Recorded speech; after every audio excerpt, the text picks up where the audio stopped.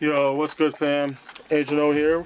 Got another review for you guys. And today I've got the Figuarts Falcon and Winter Soldier Bucky Barnes. Here it is. I finally got around to putting together the review for you guys on this figure. And uh, as you can see, same design as the Falcon box art. Um, you can see him through the little window. You've got the seal of approval. You've got the image of, of uh, Sebastian Stan and on the side you've got a picture of him standing there. On the back you've got the same picture and then you've got like some of the items he comes with or the lack thereof. We'll be getting into that. Um, nothing really much here on the side nothing much on the top. Uh, and on the bottom he's in a little fighting stance. Overall this is kind of lackluster kind of like this figure but I digress. Let's get into the review and I'll explain So we've got the Winter Soldier, or the formerly known as the Winter Soldier, Bucky Barnes. And yeah, um, first, right off the bat, which I know is going to be a subject of contention for a lot of people, is the face sculpt. It kind of looks like Sebastian Stan, and then it kind of doesn't. I personally think the skin tone kind of throws it off. I do like how the light plays off of the sculpt, though. I think the sculpt itself is nice and it, it, kind of captured them. I think he just has one of those faces that's hard to that's hard to get right in action figure form. I mean, even Hot Toys has kind of screwed it up in a few of their iterations of of the character. Um, they never, they haven't always gotten it 100% spot on.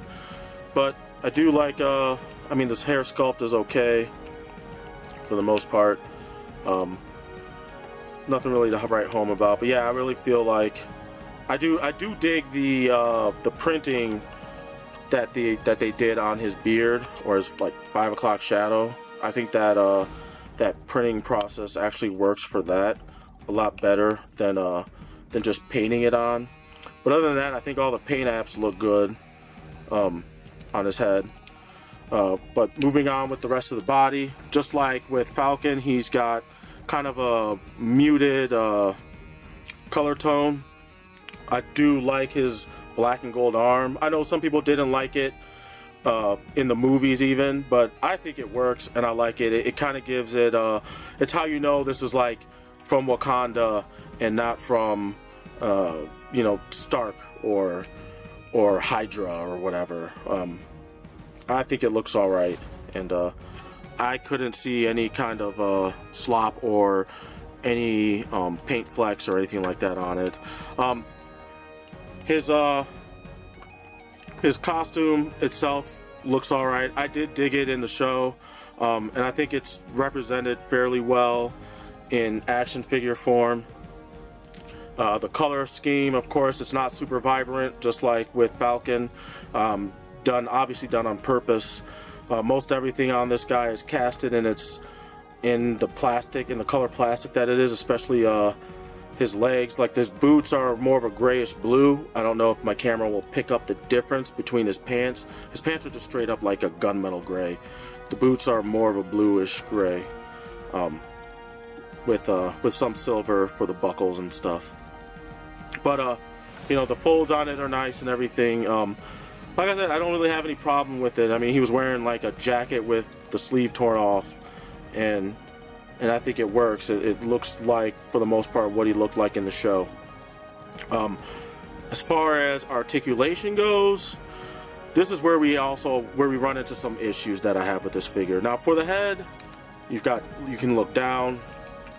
Whoops! I bent his head too far. But he can't really look up too high unless you unless you move his head past the collar, the back of his head past the collar. But he doesn't look up too high. Um, so he's kind of limited in that way. He has butterfly joints in the shoulders, which, as you can see, they do come out pretty decently. So that's a plus. Um, shoulder articulation, he has nothing to block his, uh, because you know the sculpt isn't bulky. You can move it, you can move it up and down a bit. Um, no bicep swivel because they just don't want to break up the sculpt, I guess. I don't know. Uh, they need to stop listening to people who say they hate cuts in their action figure. I'm going to say it again. If you don't like cuts in your action figures, don't buy Figuarts. don't buy Marvel Legends, buy Real Action Heroes, buy Hot Toys, buy Mezco, because they hide all that shit. They hide all the joints. So don't buy these if, if you if you're that worried about cuts in your toys. But anyway, moving on, he's got double jointed elbows, so he gets about that much of a bend. Pegged wrists, peg, uh, swivel peg wrists, so you can get the full rotation and you can get some some wrist bending. His torso, the upper torso is on a ball joint, but you don't get a lot of back and forth motion um, because this is like a kind of a harder plastic. Um, the torso is. It's so there's not going to be any give, and I've even kind of scraped. You can kind of see a little bit. You can kind of see a little bit uh, where the top of the uh, upper torso rubbed on the sculpt and and kind of and kind of scratched the uh, the surface of the um, of the lower torso from me just trying to position him and and uh, you know pose him and whatnot. So I mean you get that much rockage left and right and that much back and forth. Not a whole lot, which sucks. Um, I'm not gonna lie. I don't like I don't like the way they did this. Uh, same thing with the hips. With the hips, uh, you get a bit more movement. You can go back a bit more, so it allows them to get a get a lot more. You get a lot more bang for your buck on the waist than you do on the upper torso. And he goes forward a bit because once again, this is all hard. There's no real give on this um, this hard plastic lower torso, so you're not gonna be able to get a lot of range of motion. But he does rock back and forth quite decently.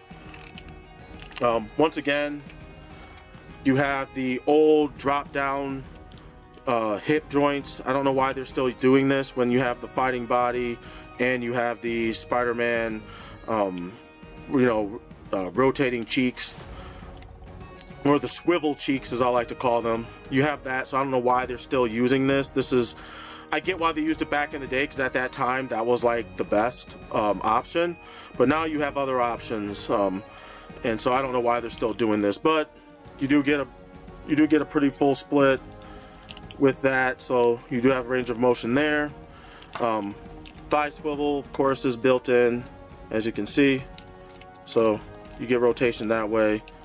Knee bend. It's not double jointed but it's that split uh, it's that split knee joint so you still get you still can get you would get the same rotation that you would get out of a double joint with the split knee but the sculpt hinders that so you don't get as much of a bend.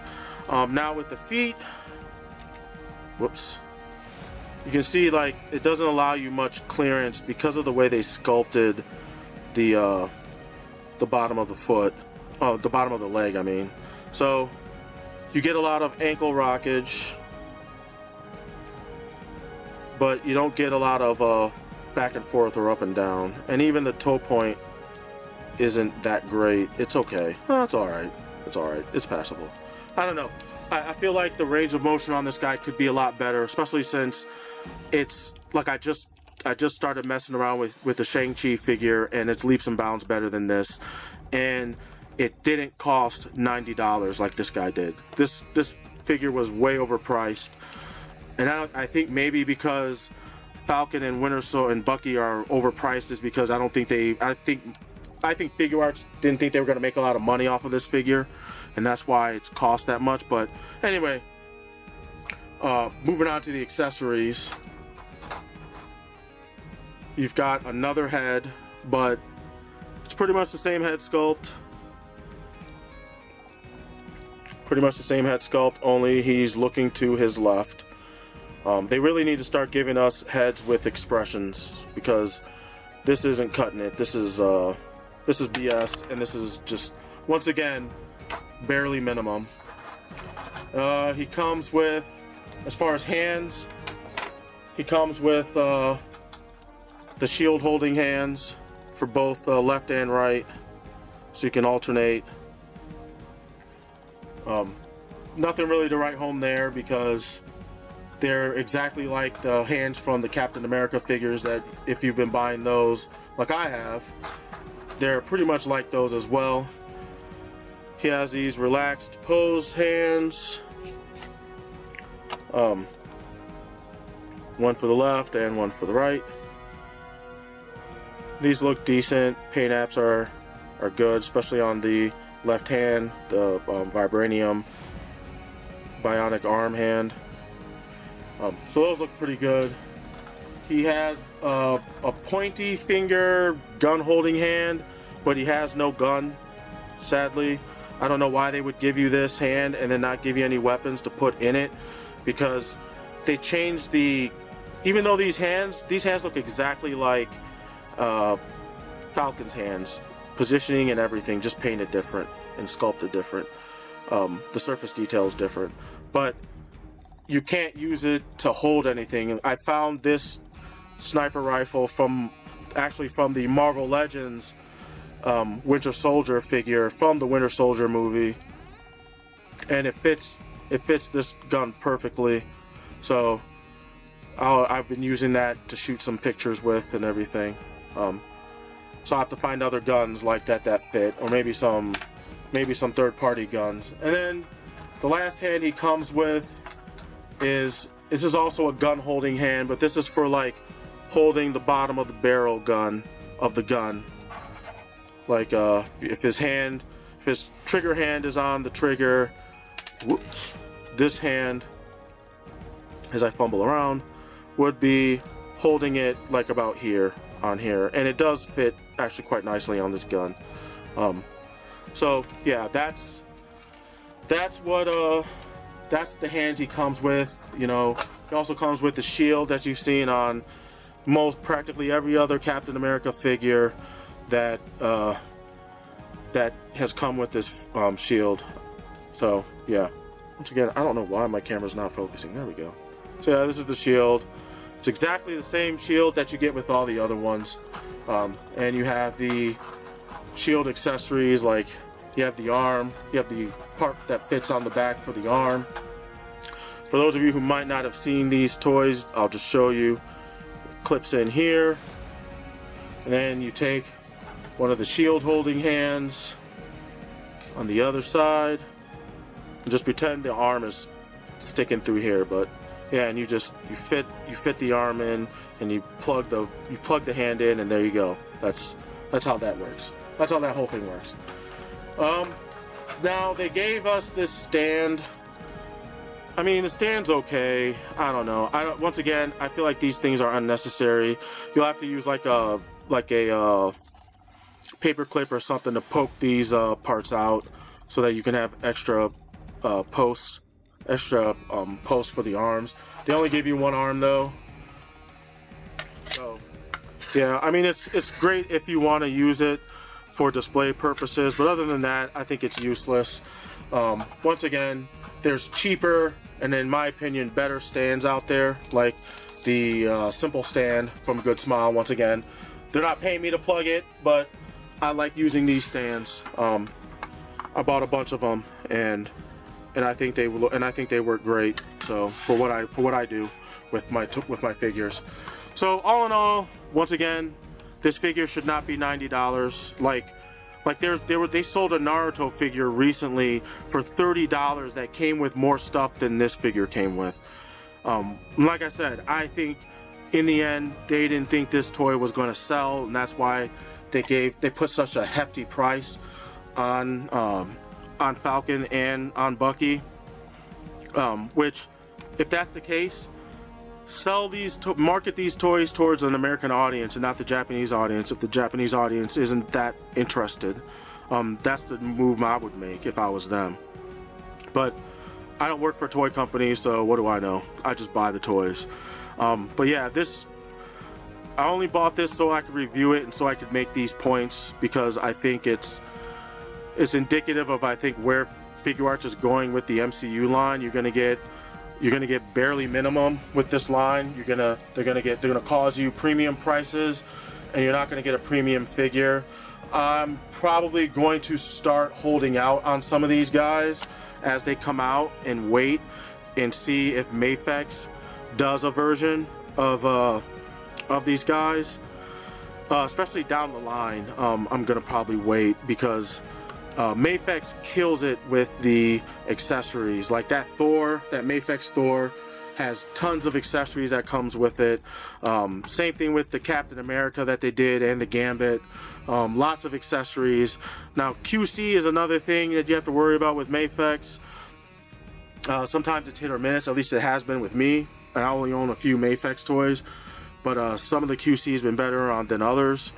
Um, so that's another issue. I mean, at least with Figuarts, you know the QC is going to be decent on them, even if they're skimping on everything else. Uh, the build quality and all that's going to be good, even though they're even though they make some weird moves with their engineering when it comes to articulation. But yeah, um, that's going to do it for this review. I wish I had more good things to say about it, but it is what it is. Um, if you don't do good work, I can't get, I can't give, I can't say good things. So do better, Figuarts, and then I'll have good things to say. Uh, but anyway, that's gonna do it for this review. If you liked what you saw, please leave a, leave a please leave a like or and hit the subscribe button, hit the notification button so that you're notified that I get um, that when I get new uh, uploads and stuff on my channel, once again hit the like button because it helps my it helps get my video out there for more people to see, which would be great because I kind of want to help build a community. Um, you know, where we can all just kind of geek out and talk about the stuff we like. And uh, that's gonna pretty much do it. So until the next review, which will be coming up soon, I'm Agent O and I'm out. Peace.